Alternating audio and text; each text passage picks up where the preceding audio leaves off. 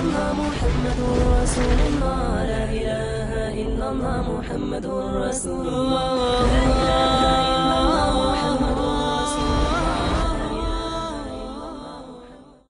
Allah saying, فَمَنْ زُحْزِهَ عَنِ النَّارِ وَأُدْخِلَ الْجَنَّةَ فَقَدْ فَازَ Success, whoever can save himself from the eternal punishment, punishment that will not come to an end, but will increase by the second, pain beyond the comprehension of the human mind. Whoever can save himself from that Jahannam and he's admitted under, into gardens under which rivers flow, he is the one that has succeeded. وَمَا الْحَيَاةُ الدُّنْيَا إِلَّا مَتَاعُ الْغُرُورِ My young friend, do not be deceived by that BMW that you may drive. Do not be deceived by that Jaguar or the fat Range Rover that you may have. Do not be deceived by the bungalows that you may live in. Tall, lofty buildings, beautiful houses, the beautiful clothes that you may wear. Do not be deceived by this dunya. Why? وَمَا الْحَيَاةُ الدُّنْيَا إِلَّا مَتَاءُ الْغُرُورِ This dunya is deceiving. Why? Because everything with this dunya will come to an end and this dunya will also come to an end. كل من عليها فان ويبقى وجه ربك ذو الجلال والإكرام There is only one thing to remain and that is none other than the Lord of the Arsh and Kursi, the creator of the dunya. Other than this, every single thing will perish. Say, O Muhammad, قل, tell these people, إن الموت الذي تفرون منه فإنه ملاقيكم. You know this death, this death that you're running away from. And you and I at this moment in time are running away from death. We really don't believe it. You know, we might not say with our mouths that we don't believe in death. We may acknowledge it, yeah, because we've seen people go before us. So we may say we believe, but our actions are a proof that we don't believe. You see the masajid full on a Friday, you see the masajid full today, you'll see the masajid is full on the day of Eid. But the rest of the year, my young friend, tomorrow come Fajr Salah, you will see one or two safs inside this masjid, and the same goes around for every other masjid in this country. When it's time for salah, we become deaf and blind to the teachings of Allah and His Rasul. When it's time for zakah, we become deaf and blind to the teachings of Allah and His Rasul. When it's time for hajj, we become deaf and blind to the teachings of Allah and His Rasul. Our a'mal are saying that we don't believe in death. We're running away from death. Allah is saying, you tell them, O Muhammad sallallahu alaihi wasallam, you can run wherever you like. You can go in the depths of the Atlantic, in the total darkness. My friend, you can climb the peak of the Everest. My friend, you can hide in the darkness of the Amazon or the Kalahari bush. When your time comes to an end, wherever you are, وَلَوْ كُنْتُمْ فِي بُرُوجٍ مُشَيَّدًا They say the Pentagon and Fort Knox are places where no one can penetrate and get through. You can go and hide there. When your time comes to an end, all of a sudden, the barrier will be removed from your eyes. You're in the dunya, but now you can see the akhirah and you will see the angel standing before you wherever you are in any corner of the globe. You cannot escape. You could be Bill Gates and you can possess billions and billions of dollars. My friend, you can take the Virgin spaceship and go to space. You can try what you like.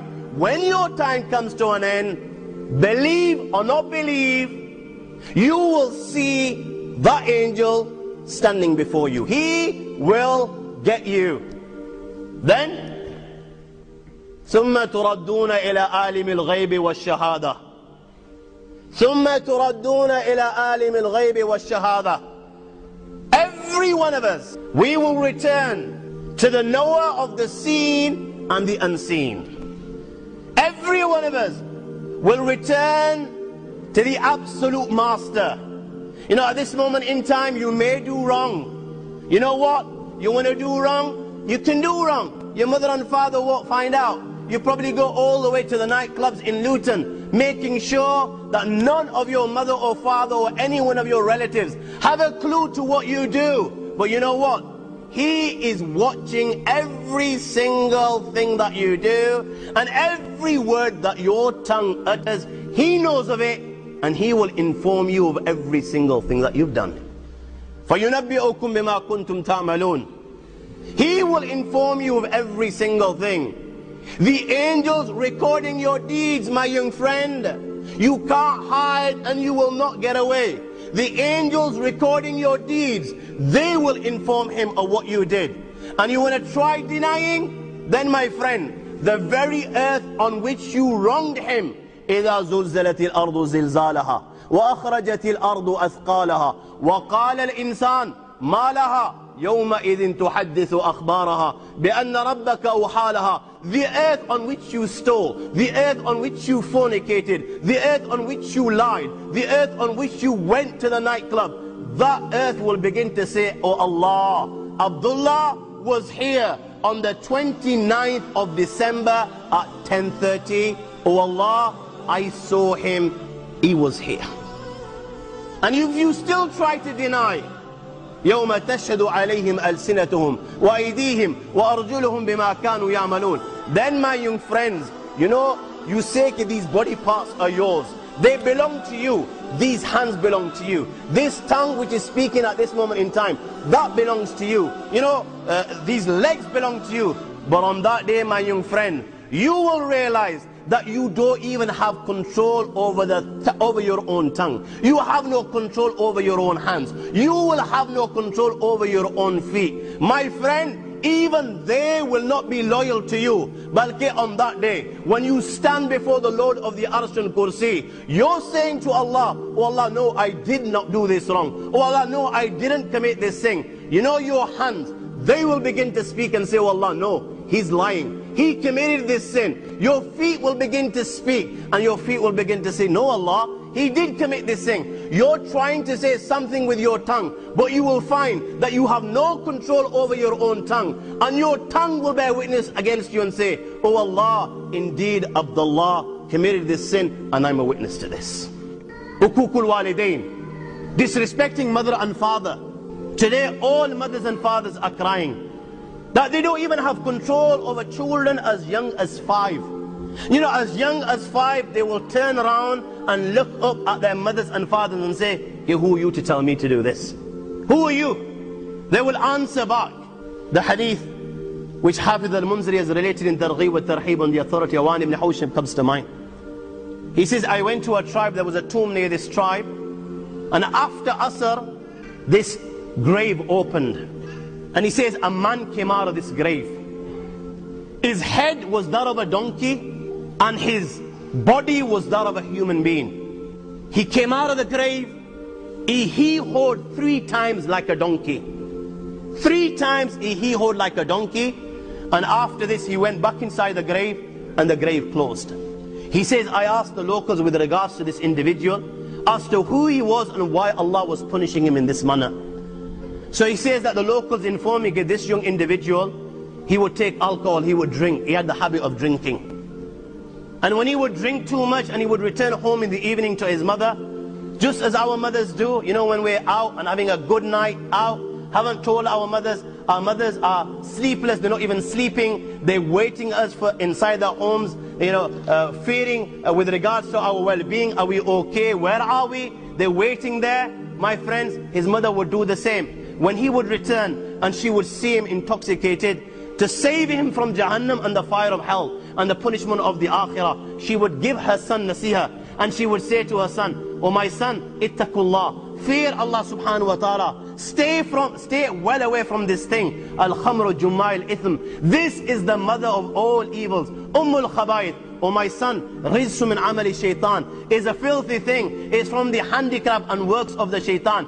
Oh my son, if you want success, if you want to go to paradise, then don't even go near this. Oh my son, do you not realize this, uh, the shaitan through this, يريد أن يصدقكم من la الله وعن الصلاة that the shaitan through this wants to stop you from the dhikr of Allah and wants to stop you from prayer. When she would give her son nasiha in this manner you know what he would do? He would turn round to his son and uh, mum and say oh mum stop he hoing like a donkey. He would say to his mom stop he hoeing like a donkey you know what the exact same thing happens today. The exact same thing happens today. This particular individual used these words. My friends, we use words which are rife in this day and age, which are no different to the words that he used. What do youngsters turn around to their mother and father when their mother and father are saving them from Jahannam and the fire of hell, and they're giving them nasiha? What do their sons turn around to their mother and father and say? Oh mother, Get off my butt. Give, you're always breathing down upon me. You don't give me, you know, you don't give me a chance to breathe. You're always coming on top of me. Give me chance to breathe. Give me my own space. Give me my freedom. Stay out of my life. This is what the youngsters utter today. My friends, there is no difference between this and what that individual uttered at that time. Those words were right at that time. These words are rife at this time. Remember, after Asr that young individual died. And after Asr, Allah subhanahu wa ta'ala punished him in such a manner that his head is turned into a donkey. He is the one that comes out of the grave and he holds like a donkey. This hadith was related in front of a masters of a hadith. Not one single master rejected or questioned it. This is why I say, my young friends, you know, if you want to believe, then you believe. If you don't want to believe, if you don't want to believe in Allah and His Rasul, if you don't want to believe in the Akhirah, then my friends, the choice is yours. Don't believe. Allah says, فَمَنْ شَاءَ فَلْيُؤْمِنْ وَمَنْ شَاءَ فَلْيَكْفُرْ Nobody will be forced to declare the kalima la ilaha illallah, la ikraha fi din. Nobody will be forced to accept, embrace Islam and accept the kalima la ilaha illallah. You want to believe? You believe. You don't want to believe? Don't believe. You want to reject Allah and His Rasul sallallahu alayhi wasallam? Then my friend, you reject Allah and His Rasul sallallahu alayhi wasallam. You want to give preference to the dunya over the akhirah and you want to enjoy this life you know, the 50 years that you might get, the 60 years that you might get, and if you're lucky, you get 100 years.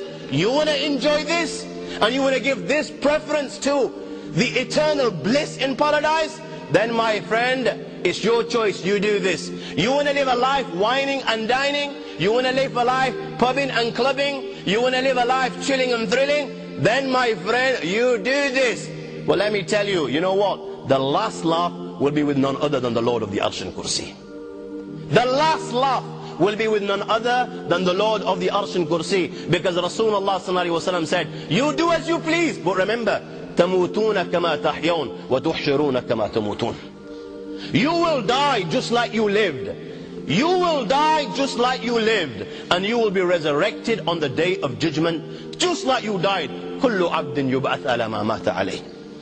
You will die just like you lived. You know, if you've lived whining and dining, chilling and thrilling, and giving preference to the dunya over the akhirah, and then you think in your little mind that on the point of death, you will utter the kalima la ilaha illallah Muhammad Rasulullah or you will die reciting dhikr or sending salutations on Muhammad sallallahu alaihi wasallam or you will die in the state of prostration.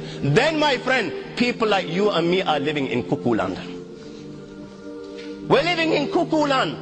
If we believe that we reject Allah and His Rasul sallallahu alaihi wasallam then we're going to die with the kalima la ilaha illallah. Then we're killing none other than ourselves.